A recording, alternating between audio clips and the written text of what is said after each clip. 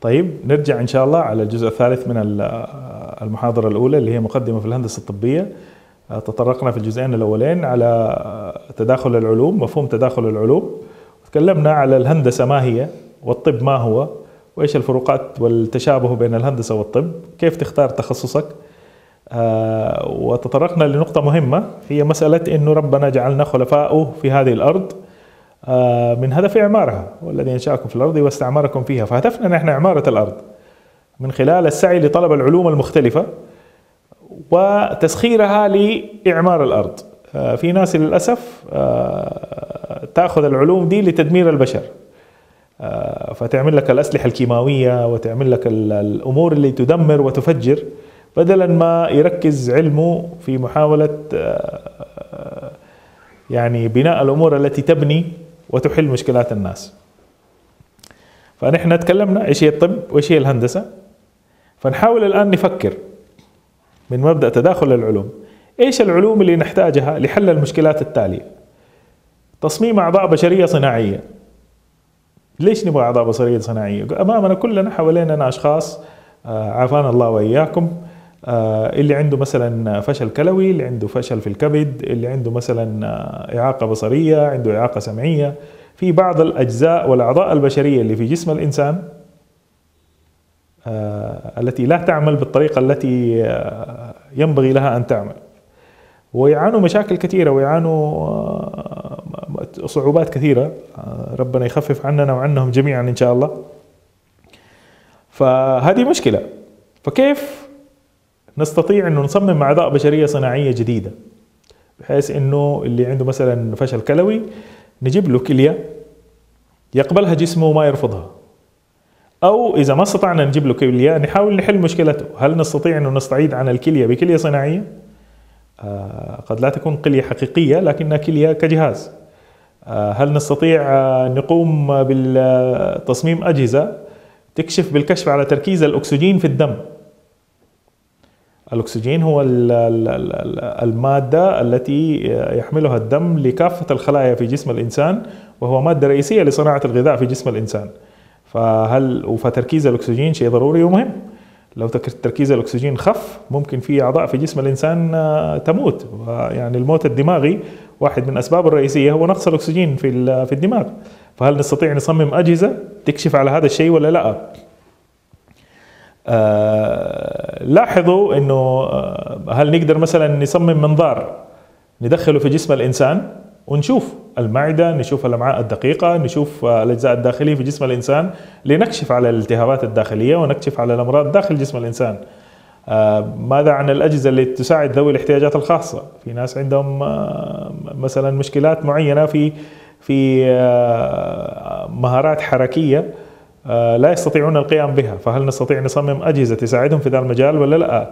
هل نستطيع نصمم أنظمة؟ عندنا مثلا الآن عدد سكان المملكة تقريبا 29 30 مليون شخص. الغالبية العظمى منهم عندهم ملفات في المستشفيات. كيف نحاول نتعامل مع الأنظمة هذه كلها؟ إنه يكون في نظام إلكتروني لكل موظف لكل مواطن أو مقيم مكتوب فيه تفاصيل التحاليل اللي هو قام فيها تفاصيل العلاجات اللي هو أخذها. بحيث يسهل علينا العودة لها بشكل فعال. فكل هذه أمور ومشكلات تتواصل. لكن لو نجي نلاحظ في هذه المشكلات هذه مشكلات ترى يعني فيها تداخل كبير بين الهندسة وبين الطب. فأنا كمهندس لاحظوا واحد من مهمات المهندس إنه يصمم أنظمة صحيح؟ فالأنظمة لو أبغى أصمم نظام يستعيض عن الكلية بكلية أخرى لابد أنا كمهندس يكون عندي خلفية جيدة عن الكلية. أعرف إيش هي الكلية أعرف إيش هو الكبد أعرف إيش هو العين أعرف كيف الأذن تشتغل أعرف كيف اللسان يتذوق أعرف كيف الأنف يشم أعرف إيش يعني تحليل أكسجين كيف أنا أقدر أفهم طبيعة الأكسجين داخل الدم. ففي تداخل في تخصص الناس اللي تتناول هذه المشكلات فهو يتطلب له معرفة هندسية ويتطلب أيضا خلفية طبية. الطبيب لوحده لن يستطيع أكرر الطبيب لوحده لن يستطيع أنه يصمم أعضاء بشرية صناعية لوحده. ولن يستطيع إنه يصمم أجهزة تكشف عن الأكسجين في ضغط في في, في الدم ولن يستطيع إنه يسوي منظار كاميرا يدخل في جسم الإنسان أو يصمم أجهزة تساعد ذوي الاحتياجات الخاصة أو أنظمة نظم معلومات أو أنظمة تصور داخل جسم الإنسان أو أنظمة الأشعة دي اللي تسوي ال X-ray images لكن في نفس الوقت المهندس لوحده لن يستطيع أن يصمم كلية جديدة أو كبد جديد أو عين جديدة أو قلب صناعي. أو أجهزة تعويض أخرى زي الركب الصناعية بدون ما يكون عنده خلفية طبية عن هذا الموضوع فهنا هذا التخصص الجديد يبرز اللي هو الهندسة الطبية اللي يتطلب إنه يكون صاحبه يملك خلفية عن الأساسيات في الطب ويملك خلفية هندسية ويستطيع إنه يدمج بين الهندسة والطب ومفاهيمهما المختلفة لحل المشكلات اللي يواجهها الطبيب في شغله اليومي. فالهندسة الطبية هي علم يدمج عددا من المعارف والعلوم مع بعضها البعض. وهي التخصص العلمي الذي يطبق مبادئ وطرائق مستمدة من الهندسة والعلوم والتقنية لفهم وتعريف وحل المشكلات ذات الصفة الحيوية أو الطبية. في ناس تقول الهندسة الطبية ببساطة هي تطبيقات التكنولوجيا في مجال الطب سواء للوقاية أو للتشخيص أو العلاج من الأمراض أو حتى تعويض وظائف وأعضاء جسم الإنسان. الهندسة الطبية اذا هي آه، تطبيق للتكنولوجيا في الطب وتحتها فروع كثيرة جدا الهندسة الطبية. تمام؟ فالفروع هذه تعتمد على يعتمد اسمها على طبيعة التخصص الذي يطبق في الطب فأنا لو استعملت مفاهيم الميكانيكا والمحركات في تصنيع كرسي متحرك يساعد ذوي الإعاقة ويحل مشكلتهم. فأنا بتكلم على biomechanical engineering لو استعملت الإلكترونيات والكهرباء في تصميم أنظمة مثلا تساعد في العلاج أو التشخيص أو التصوير الأشعة تمام أو تحليل المختبرات فأنا بستعمل ال bioelectrical engineering لو استعملت المفاهيم الكيميائية في إنتاج مثلا آه، ركبة صناعية تدخل داخل جسم الإنسان بدون إنها تتفاعل فيه فأنا بعمل صناعة الأنسجة أو الهندسة الكيميائية. لو استعملت مفاهيم الحاسبات في الطب لتنظيم الملفات الطبية ولتنظيم المعلومات الطبية المتعلقة بالمختبرات والتحاليل والمعلومات الشخصية للأمراض والمرضى فأنا بستعمل ال informatics ال bioinformatics وهكذا. فإيش العلم اللي أنا بطبقه في الطب؟ يديني واحد من فروع الهندسة الطبية فالهندسة الطبية زي ما أقول لكم واضح إنه آه، فيها تداخل كبير بين العلوم المختلفة وبين الطب وهي ليست حصر على الكهربائية ولا الميكانيكية ولا الكيميائية آه، وإنما يعني تدخل في أشياء كثيرة وحنتطرق لأمثلة كثيرة في هذا المجال. فكحكمة معينة نخليها في بالنا إنه الإبداع يتولد عند تنافس الأفكار المختلفة مع بعضها البعض. الهندسة لوحدها علم مبدع. تنتج إبداعات رائعة كثيرة والطب لوحده علم مبدع. ينتج إبداعات واختراعات كثيرة وأمور كثيرة نفعت الإنسانية سواء من الهندسة أو من الطب.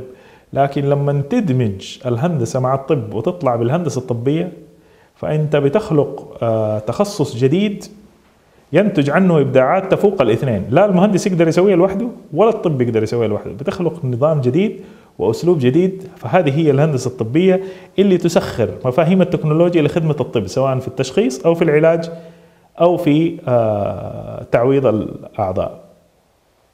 فقلنا في هندسة ميكانيكية هندسة طبية كهربائية هندسة الأنسجة هندسة المعلومات الحيوية الهندسة الطبية الكيميائية الهندسة الطبية الإكلينيكية. أهم الإفكار اللي تناولناها اليوم كملخص سريع إنه تداخل العلوم مع بعضها البعض صار واقع في مشكلات كثيرة نحن بنواجهها اليوم تتطلب إنه تشكيل فرق من تخصصات مختلفة وافراد مختلفة يشتغلوا مع بعض لحل المشكلة. فدوما ينبغي أن نحترم التخصص، هناك حدود آه، لما أستطيع أن أحصل عليه من معرفة في التخصصات الأخرى. آه، وإذا كان ذاك كافي كان بها لكن لو احتاج آه، تعمق أكثر فلا بد نكون مستعدين للعمل مع الآخرين. التداخل ينتج عنه إبداع أكثر وهذا مفهوم في اللي بيتكلموا عليه دوما السينرجي اللي هو واحد زائد واحد لا يساوي اثنين وإنما أكثر من اثنين فعندما يدخل علم الطب لوحده زائد علم الهندسة لوحده ينتج شيء أكبر من المنتجات اللي ممكن تطلع من الهندسة لوحدها والطب لوحدها آه، تكلمنا كمان إنه هناك تشابه بين أساليب العلاج الطبية وأساليب الإصلاح الهندسية. والهندسة الطبية طبعا كده تعتبر جسر بين الهندسة والطب ولها أقسام كثيرة وفروع كثيرة بحسب التكنولوجيا الرئيسية المستخدمة في الجسر مع العلوم الطبية. فلو جبنا جسر الهندسة الميكانيكية وطبقناه في الطب فأنا بستعمل biomechanical engineering أو الهندسة الطبية الميكانيكية. لو استخدمنا جسر الحاسب الحاسب الآلي وطبقناها في العلاج فأنا بستخدم نظم المعلومات الصحية أو ال bioinformatics لو استخدمت الهندسة الكهربائية في الطب في الطب فأنا بستعمل الهندسة الطبية الكهربائية آه، ولو استعملت الكيمياء فأنا بستعمل الهندسة الطبية الكيميائية. في فيلم أحب إنه تشوفوه في ختام الجزء الثالث من هذا الدرس في فيلم نتفرج عليه شوية. وإن شاء الله يكون بيننا وبينكم نقاش. آه نشوف فيه إيش أحلى شيء شفته في هذا الفيلم وإيش أسوأ شيء شفته في هذا الفيلم وإيش الدرس اللي استفدته من هذا الفيلم. آه الفيلم حنشاهد جهاز موجود آه قصته ببساطة. هو شخص آه أصيب انقطعت يده. عامل يعمل في منجرة انقطعت يده. فصنعوا له يد صناعية آه تحاول تعوض اليد الطبيعية.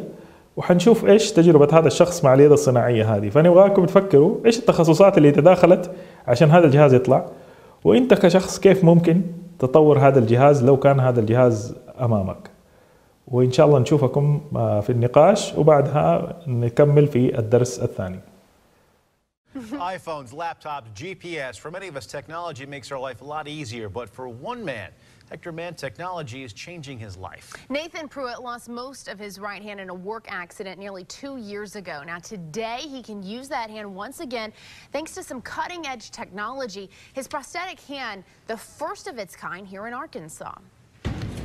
Life had been good to Nathan Pruitt, a high school athlete well known in his hometown of Hector. He'd accepted a job at a paper plant. Then, in one moment, everything changed. There was a piece of board in front of a uh, photo eye, and as I reached in there to grab the board, the machine kicked on, and my hand got caught in a chain. Within seconds, his hand had been ripped apart. I was uh, very upset. Just didn't know how I was going to live life anymore. But life is changing once again. It's changing everything. I mean, it is. It's just really starting a new life, I guess. The first of its kind in Arkansas, this prosthetic arm attaches to Pruitt's arm and is controlled by muscle contraction. Each finger has its own motor. The trick now, learning how to use that arm to its full potential. He does that with the help of Baptist Health occupational therapist John Johnston. Oh, yeah, he's doing fantastic. And, you know, he's young and smart, and he just good problem solver, and uh, he's doing. He makes us look good. It really does. It just feels natural. It's starting to feel more like a hand. Pruitt's cousin Chance Skinner has been by his side throughout this entire ordeal. I think it's just amazing. It's it's actually mind blowing. You, you look at it and you you think it's uh, from Star Wars or something. But what is most amazing, Skinner says, is not the technology, but the man who it's helping. It's not so much the hand that needs to, the store needs to be out, it's the person that's wearing it, because without him inside of it, it, it would just be a piece of metal such an amazing story. That's and fantastic. He's an amazing guy. He really is. And, and what Chance was saying is how positive he stayed. Everybody else was thinking the worst, and he refused yeah. to think that. So, and as you can imagine, Nathan's got some, some goals, some long-term uh -huh. goals, and they include golfing, playing the drums, and fishing. I have no again. idea he will reach each and every one Absolutely of those. Absolutely he will. Without a doubt.